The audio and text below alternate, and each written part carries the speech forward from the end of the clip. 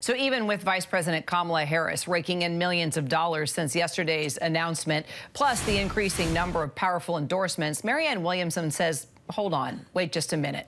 Clearly, the Democratic Party wants to move quickly and is eager to not only move on from all the infighting, but Dems also believe they have a fighting chance to beat Donald Trump. So does Marianne Williamson, and she's taking advantage of every moment now to step into the void while declaring that no one should simply be anointed to that position of nominee and that all candidates must be heard and their agendas explored. Marianne Williamson joining me once again here in studio. Good to see you again as the news continues to change. It sure um, does. You know, you want you want a process where all candidates, in, including yourself, are, are taken seriously here are considered in a very serious manner. How do you go about doing that this close to the convention? Well, I have to get 300 delegates. We have a few. People can write who are delegates to convention at marianne2024.com. Not that uh, signing that pledge to nominate me would mean that you were actually voting for me at the end of the process. It would mean that you were standing for an open convention. You know, the problem over the last year and a half is that it was decided that Joe Biden would simply be rubber stamped.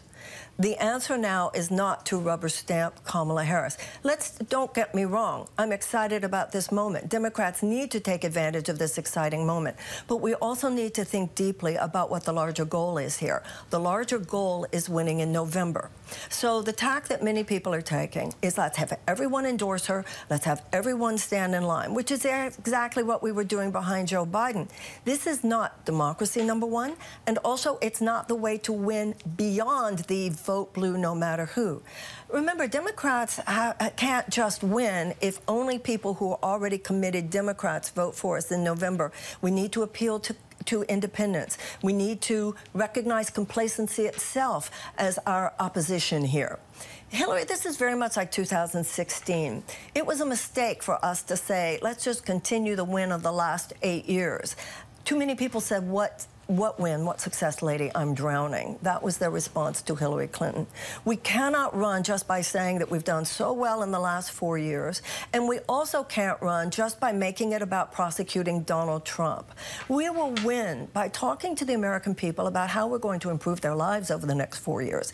And Kamala Harris should be uh, not only able, which I assume she's able, but she should be made to speak to this. We need to talk to the American people about health care. I need to hear from her about not only the obvious things like Ukraine, like Israel and Palestine, like immigration, but what about hunger in America? What about the fact that one in four Americans live with medical debt? What about the fact that 39% of Americans are skipping meals regularly in order to pay their rent? What about the fact that 62% of Americans are living paycheck to paycheck?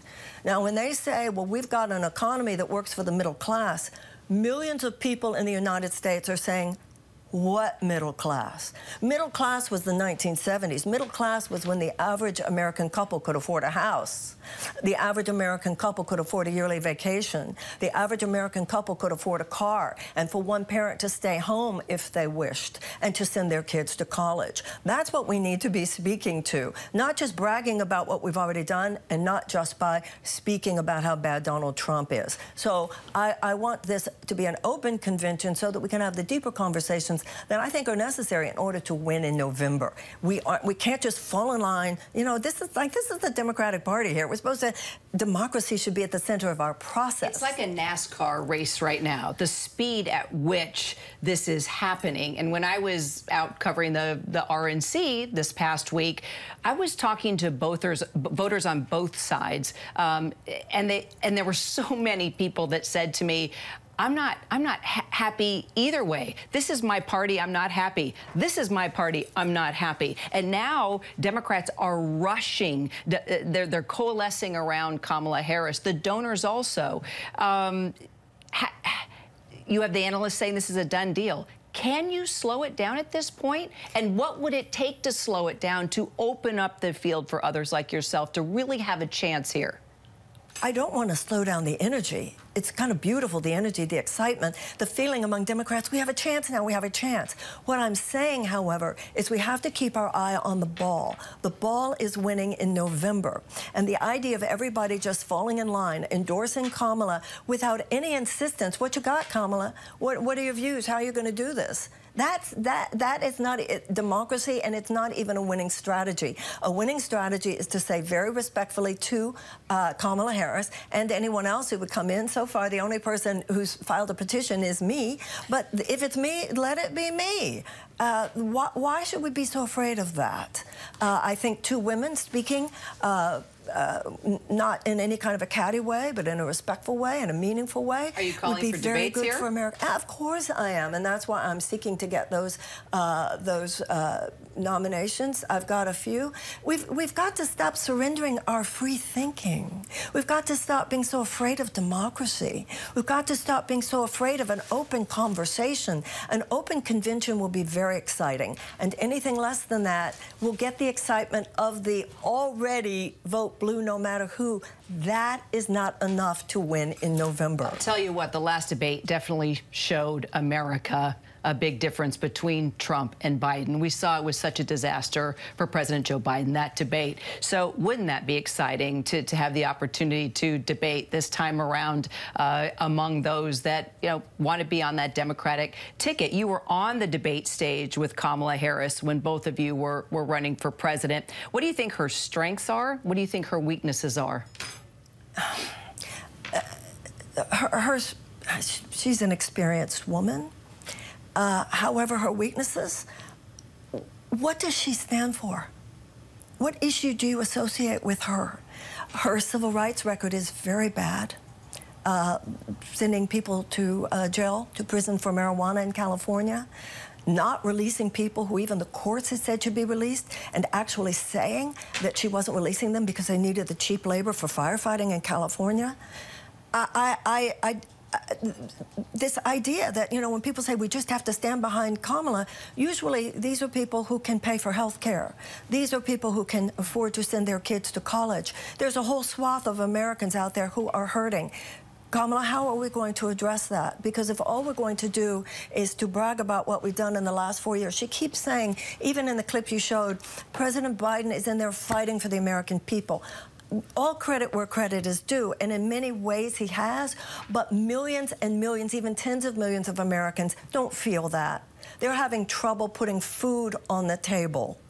And they find it, in my experience, what people say to me, being their their concerns being neglected. We have why are we not talking about poverty in America? Why are we not talking about near poverty? Why are we not talking about the fact that millions and millions and millions, in fact 70% of the American people say that they live with chronic economic stress. And let's not over let's not in any way underestimate the role that economic anxiety has in the mental health crisis. How are we going to wage peace? What are we going to do to actually face the climate emergency? We have the floods, we have the fires, we have the hurricanes. And no, I'm sorry, uh, this president has, as they call him the climate president, the truth is he's given more oil permits than Trump did. I want to hear from Kamala. What are you going to do? Are you going to just continue this investment in green energy on one you hand, while on the other hand giving more permits to oil companies. There is nothing wrong by uh, in saying uh, Kamala Harris needs to respond to these things, talk to these things. So whether it's Kamala Harris or you or someone else, do Democrats now have a better chance of beating Trump than they did before? Yes, I think we do. Of course, I think we do. But at the same time, this is more like 2016 than like 2020. 2020, the mood of the country was please give us some normalcy. 60, now it's more like the anger, the frustration, the pain that is out there must be addressed. There's a Demo lot of fear, too. And a lot of fear. Kamala Harris is not being served by her supporters. She's not being served by the Democratic Party if this is just a coronation. She's not being served. She's being served by someone who says, what you got, Kamala? What you got? Because I know what I got. That would be good for Kamala Harris if we're to actually win in November. Marianne Williamson, always a treat to have you here on set and this never never normal election cycle. I mean the political arena is is something we have never seen before. It's great to have you along for the ride. Thank Thanks, you. Marianne.